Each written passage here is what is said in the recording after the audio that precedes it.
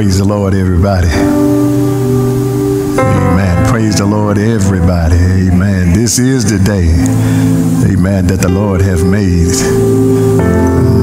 We ought to rejoice and, amen, be glad in it. Amen. We thank God, amen, for, for another day and uh, a day that we had never seen before. He woke us up this morning and certainly he started us on our on our way. Amen. It's good to be in the house of the Lord one more time. Amen. Amen. Amen. God is a good God, and certainly He is worthy.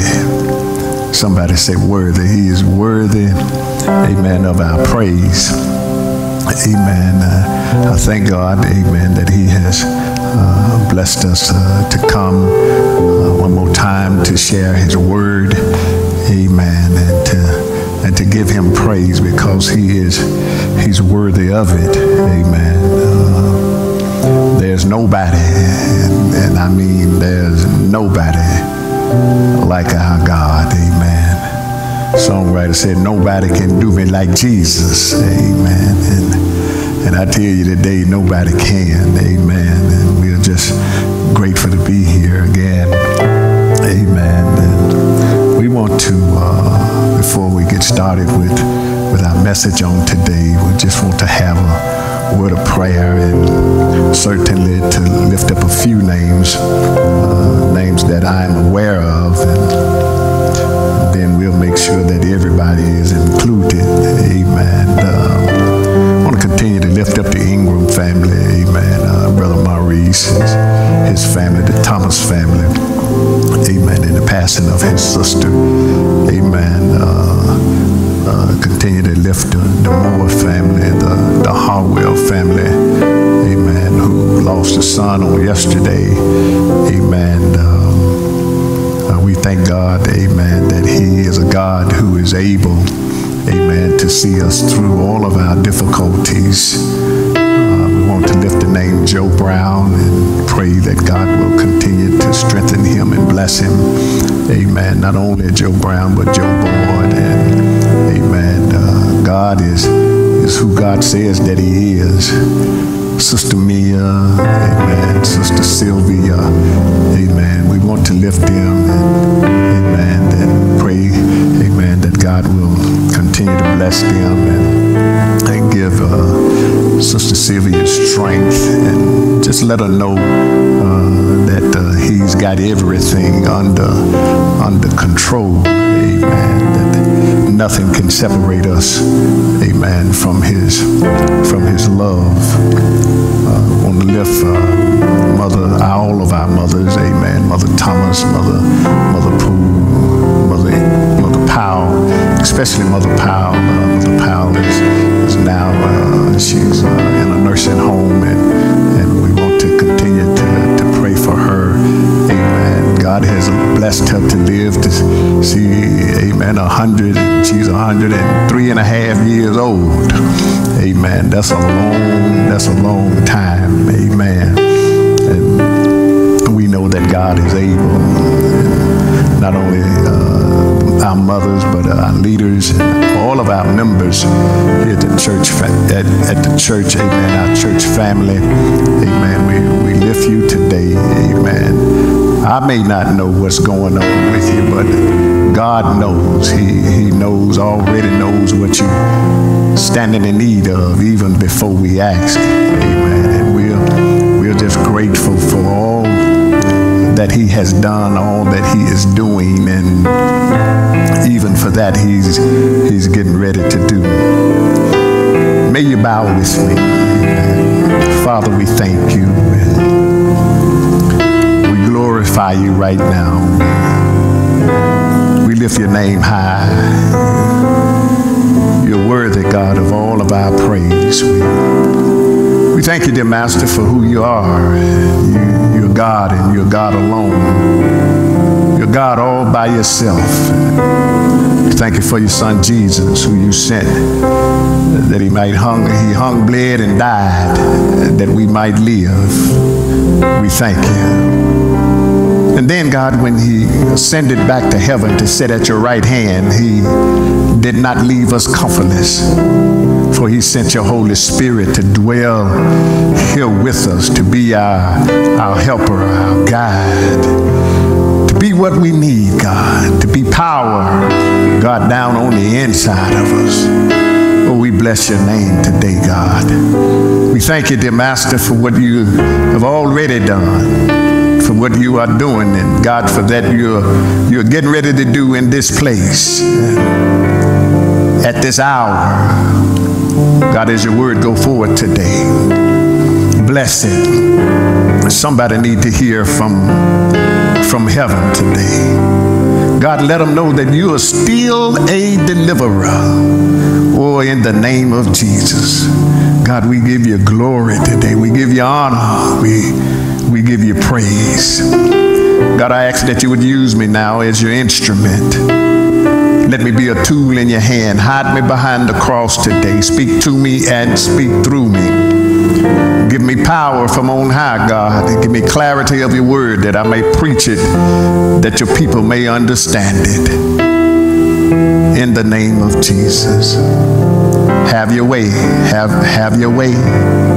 Have your way, God. Have your way right now, God. Have, have your way. Oh, I can feel you moving right now. Oh, God, I bless you right now. I bless your name, God. Oh, you've been good. You've been good, better to me than I've been to my own self. And I thank you and I honor you and I praise you in Jesus' name. Amen. Amen.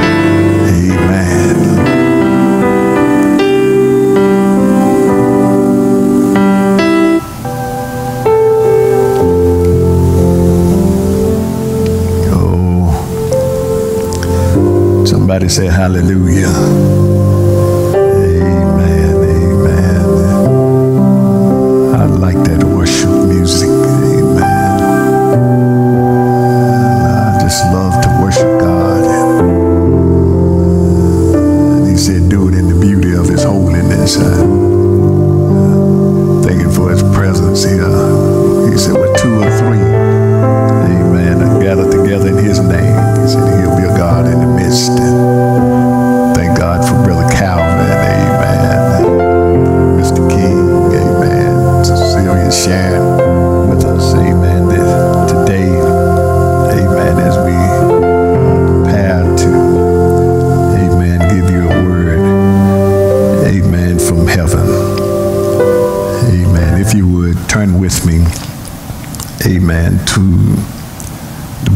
Daniel Amen. The book of Daniel, uh, chapter 6. The book of Daniel chapter chapter 6. And today, amen, we'll be reading from the Message Bible. Amen. We'll be reading, amen, from the Message Bible. Daniel Amen. Chapter chapter 6. Beginning with verse 10, you will find these words recorded. When Daniel learned that the decree had been signed and posted, he continued to pray just as he had always done. His house had windows in the upstairs that opened toward Jerusalem. Three times a day he knelt there in prayer, thanking and praising his God. The conspirators, amen, came and found him praying, asking God for help. They went straight to the king and reminded him of the royal decree that he had signed. Did you not, they said, sign a decree forbidding anyone to pray to any god or man except for the next 30 days? And anyone caught a man doing it would be thrown into the lion's den. Absolutely, the king said, written in stone, like all the laws of Medes and Persian. Amen. So they answered and said before the king that Daniel, who is one of the captives from Judah, does not show due reward or due regard for you O king, or for the decree that you have signed, but make his petition three times a day. And the king, when he heard these words, was greatly displeased with himself and set his heart on Daniel to deliver him. And he labored till the going down of the sun to deliver him. Then these men approached the king and said to the king, Know, O king, that it is the law of the Medes and Persians that no decree or statute which the king established may be changed. So the king gave the command, and they brought Daniel and cast him into the den of lions. But the king spoke, saying to Daniel, your God, whom you serve continually, he will deliver you. Amen. Amen. I've read to you again uh, Daniel chapter 6, verses 10 through 16. The word of God for the people of God. This story of Daniel in the lion's den has ranked, I would imagine, in the top 10 of the most familiar and beloved passage of scripture found in the Bible. Daniel was brought as a teenage captive to Babylon.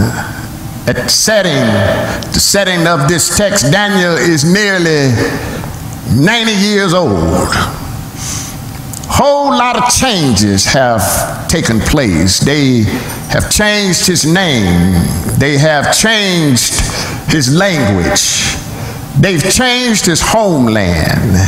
However, they could not change his heart. With all of the changes that have taken place, Daniel is the same man at 90 that he was at 19. For when we read the book of Daniel, we read, amen, that Daniel honored God. And because he honored God, God exalted Daniel, even in the midst of captivity. Daniel, Daniel chapter 6 says that King Darius had placed 120 princes over the province of Babylon he has made three men presidents over the, the princes, and one of the three was the prophet Daniel. Fact about it, amen. The Bible, the Bible says that he was preferred over the other two presidents. And the king had given thought to placing Daniel over all of the others, amen. In the midst of that, amen, those other princes and presidents be began to look at Daniel with eyes of envy.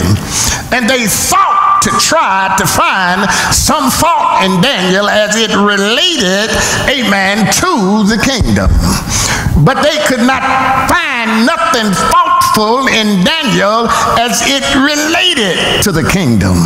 So, so, so they decided that if we're going to find some fault in Daniel, if there is anything that we're going to be able to get after him about, it must be concerning the law of his God.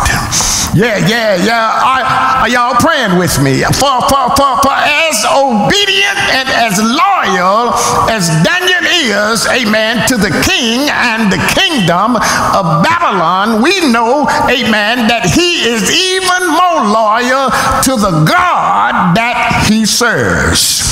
They they they conspired, amen, together, and they come up with a plan, and they go to the king, and they say to the king, for the next 30 days, King, we, we want you to sign a decree that no one shall pray to any other God nor man except you.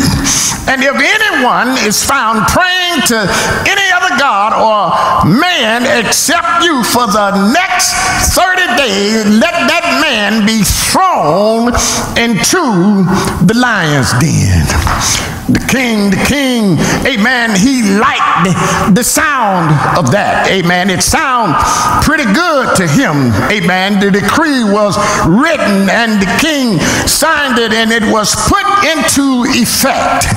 And the word says, Daniel, knowing, amen, that the decree had been signed, went into his house, went, amen, his chamber, opened his window toward Jerusalem, kneeled down and prayed three times a day, business as usual. Daniel did this every day, the same thing at the same time. It was business as usual. Let me let me say, let me say, amen, a few things, amen, and then I'll I'll let you go here. First, let me say something about Daniel's difficulties. Daniel, Daniel, after he had been promoted by King Darius, amen, it was not long after that envy and jealousy reared their ugly heads. Yeah, yeah, envy is a terrible thing. Jealousy, my brothers and sisters, is a terrible thing, amen. Someone once said that envy is the tribute that failure pays to success.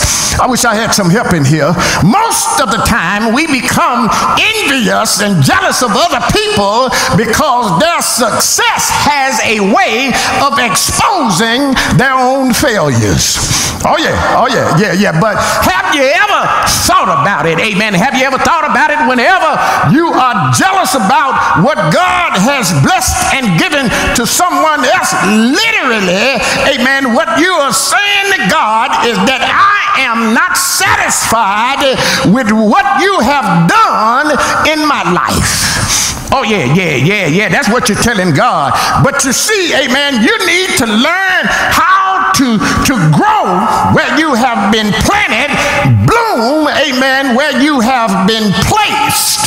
Do y'all have any help in here? I wish I had some help which I had some help in here.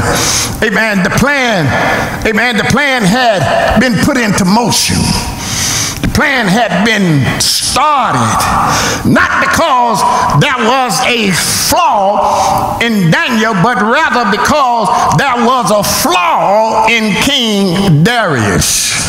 And the flaw in King in King Darius was his his pride. I tell you something, pride is, is something else. Not only is envy a terrible thing, but, but so is pride. Pride will destroy you. What these men were saying to the king is that you need to be God for a month.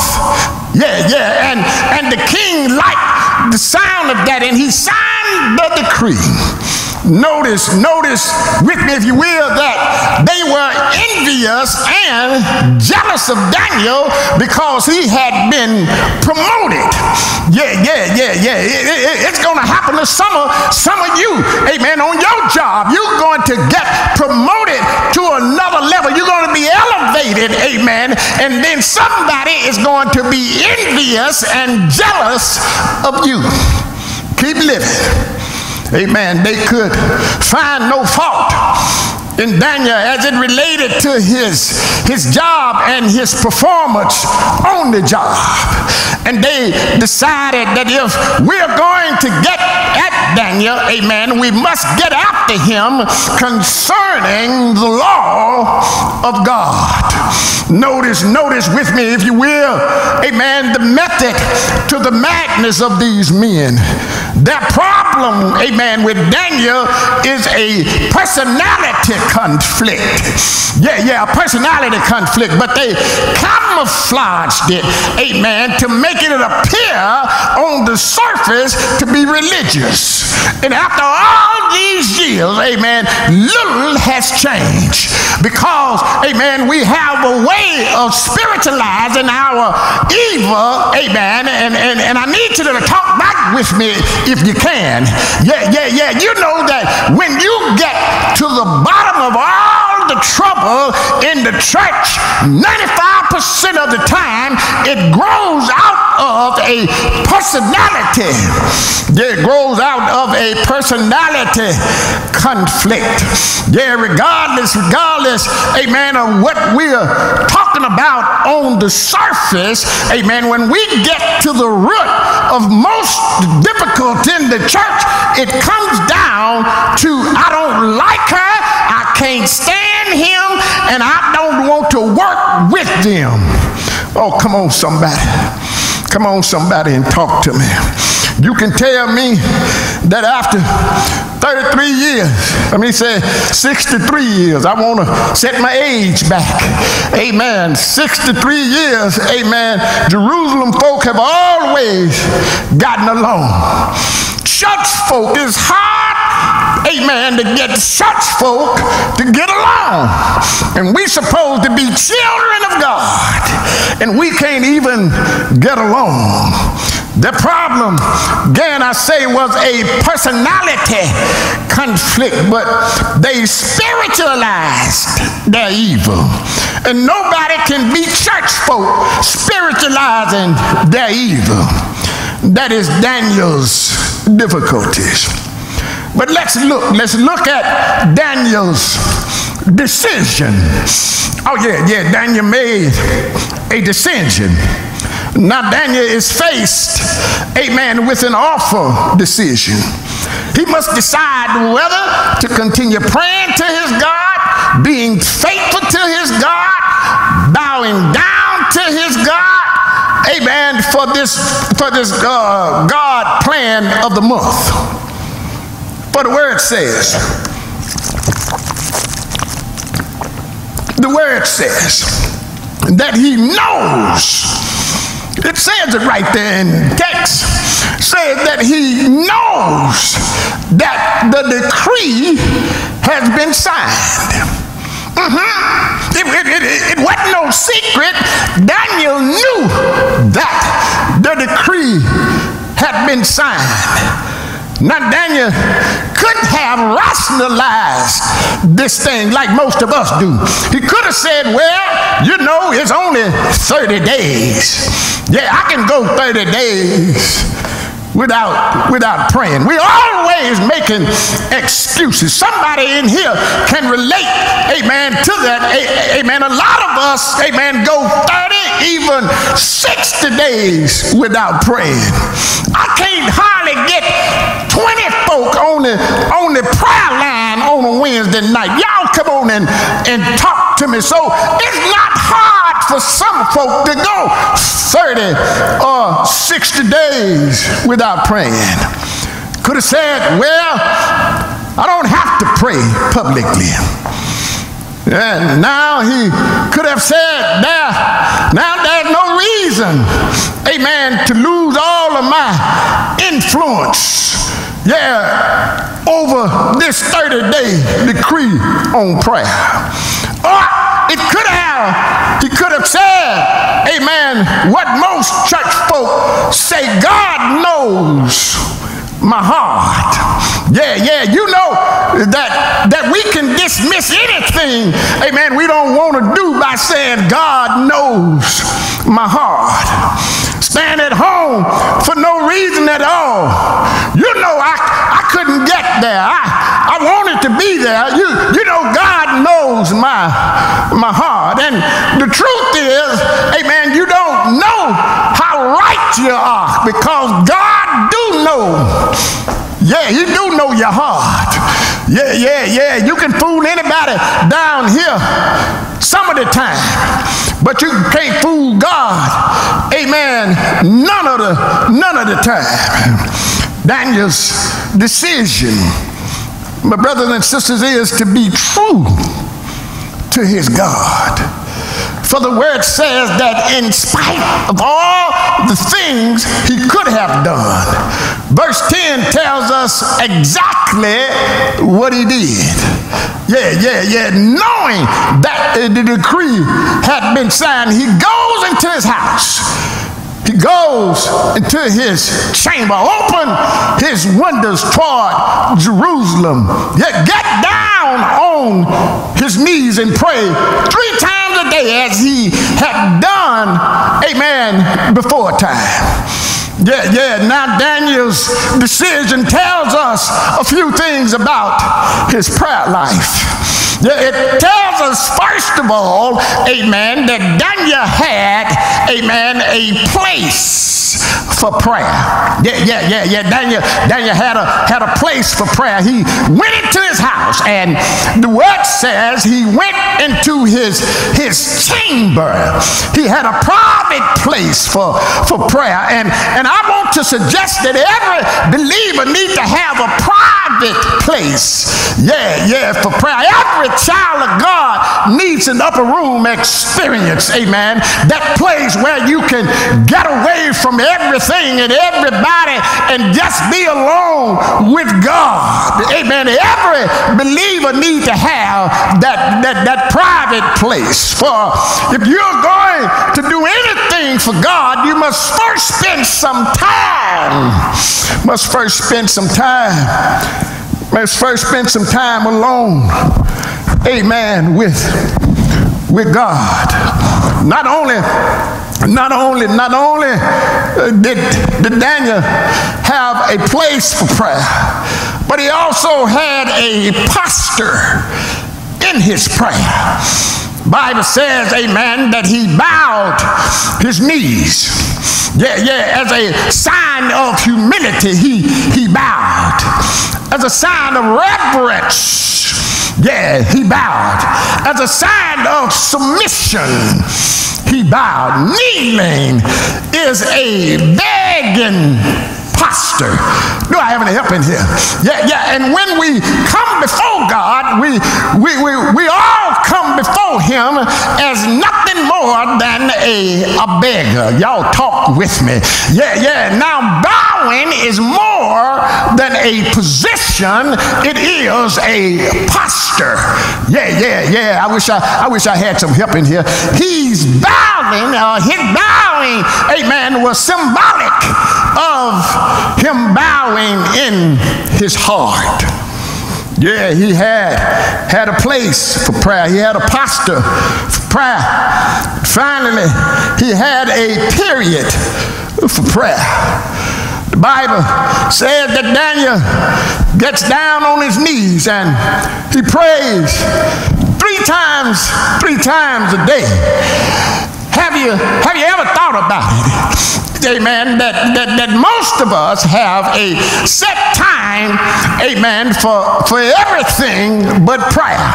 Yeah, yeah, there, there, there's a set time for everything but prayer. You, you got the set time that, that you get up in the morning. The, the alarm clock is, is fixed on a, on a certain time. I, I wish I had some, some help in here. I, I know folk, they set their phones to go off, amen, when they have to clock in and when they have to clock out. I wish I had some, wish I had some help in here. Amen. We we we we have a set time when we get up in the morning and all through the day, amen, we, we always set a time to do something, but most of us don't set a time. Uh-uh. We don't set a time to pray, to pray. You got to set a time that you can get up in the morning. The alarm clock is fixed on a certain time. You got a certain time of day that you have your first cup of coffee.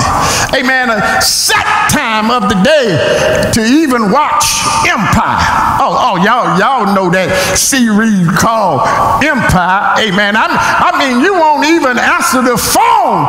Amen. When your Empire is on, and and if you do, Amen, you hurry the person off and say, I'll call you back once Empire goes off. Amen. Empire came on on a Wednesday night. I, I know that because our Bible study, amen, when Empire was on, amen, it got short in here because of Empire.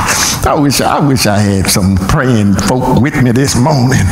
Amen. But it's hard. It's hard for us to set a time, my brothers and sisters, for prayer. Amen. But you see, Amen. I've discovered something. I want you to get this. If you bow before God, you can stand before enemy. Mm-hmm, mm-hmm. Let me rewind that if you bow, amen, before God, you can stand before any man. The Bible says that he knew, amen, that the decree had been signed, but he went on into his house, went up into his chamber, opened his window, and prayed three times a day as he had done before. He continued, he continued on with the business as usual. Maybe that's God's word for somebody here, amen, this morning. You're faced with an awful situation. You find yourself in a crisis. But I want you to know, I want you to know this morning that in spite of what your doctor has told you, in spite of your, what your lawyer has said to you, in spite of how it may appear, amen, to be in your life right now, get down on your knees, amen, and tell God all about it. Yeah, yeah, yeah, yeah. You need to tell God all about it. Amen. Go to bed tonight. Amen. And get sleep. Amen. And in the morning, amen, business as usual. For I've discovered that if you pray, something is bound to happen. That's what Daniel did. He kept on praying, regardless of the decree that had been signed. He kept on praying. He kept going up into his room, into his chamber, amen. And he kept opening up his window toward Jerusalem and he kept bowing down on his knees and praying to God. Oh, I, I, wish I wish I had some help. Daniel knew about the decree. I'm getting ready to get out of here. Yet, yet, yet he goes into the house. He opens his windows. He get down on his knees and he pray to his God. And the word says that all day, from morning to evening, the king tried to deliver Daniel. And that is why Daniel's amen, didn't have, amen, contempt for the king. Now, now, now, rather he had commitment to the king of kings. Yeah, yeah, yeah, yeah. He realized that Darius' power was limited, but the God whom he served was able to do exceeding and abundantly above all that he could even ask a thing. So, the final thing we need to look at is Daniel's deliverance. And I'm out of here. There, the king tried all day to deliver Daniel and was unable to deliver him. And finally, late in the evening, Daniel was cast, amen, into the lion's den. But I want to tell you, amen, this morning that if you put your trust mm, in the Lord. Anything God brings you to, yeah, yeah, He got enough power to always bring you through. I need to rewind it. Anything, amen, anything, amen, that God brings you to, yeah, He has enough power, yeah, to bring you to bring you through. You, you, you, you never have to, to doubt in the dark what, what God has promised you, amen, in the light. Yeah, yeah, for Daniel realized, amen, that he was not trusting in the king, but he was trusting in his God. And the word says that, amen, when, when Darius went back to his room, amen, when he got back to his palace, that he fasted all night long. Sleep passed from him. All night he paced the floor backwards and, and forward, worried about Daniel. And early the, the next morning, all night he paced the floor, worried about Daniel. And early, I tell you again, the next morning, he went to the lion's den, amen, and said, Daniel, there is the God whom you serve, continually able to deliver you. And I've discovered, amen, the difference, amen, between Daniel and most of us is Daniel served God continually. Yeah, but most of us serve God when we, uh, when it's comfortable or convenient for us to serve Him.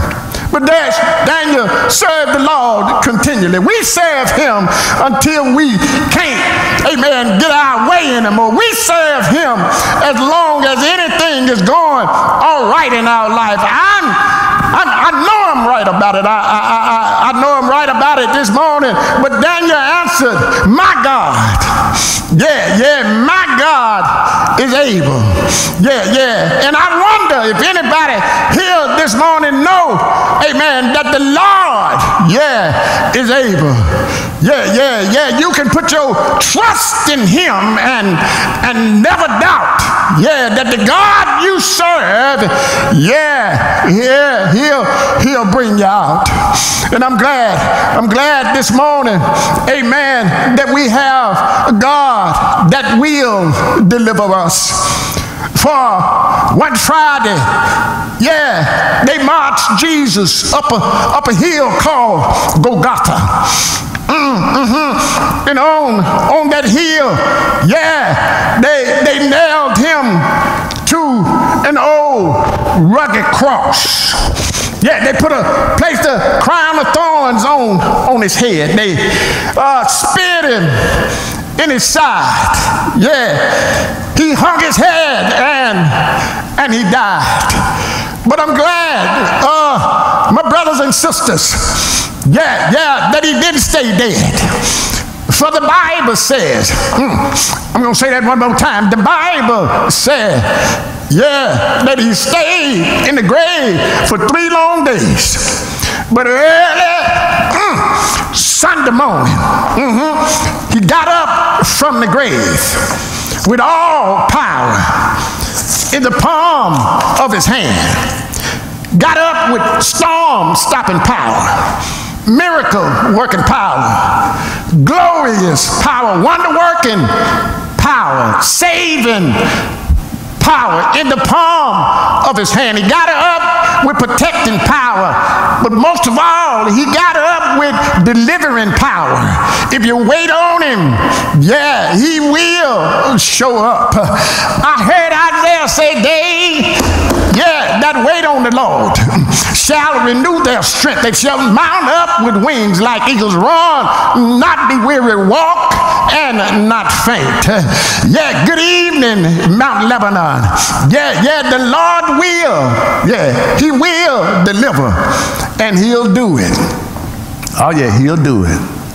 And He'll do it on time.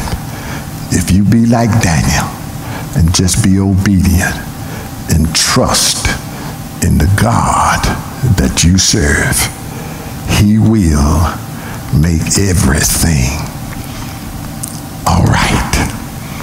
God bless you and God keep you. Amen. Until we meet again. Amen.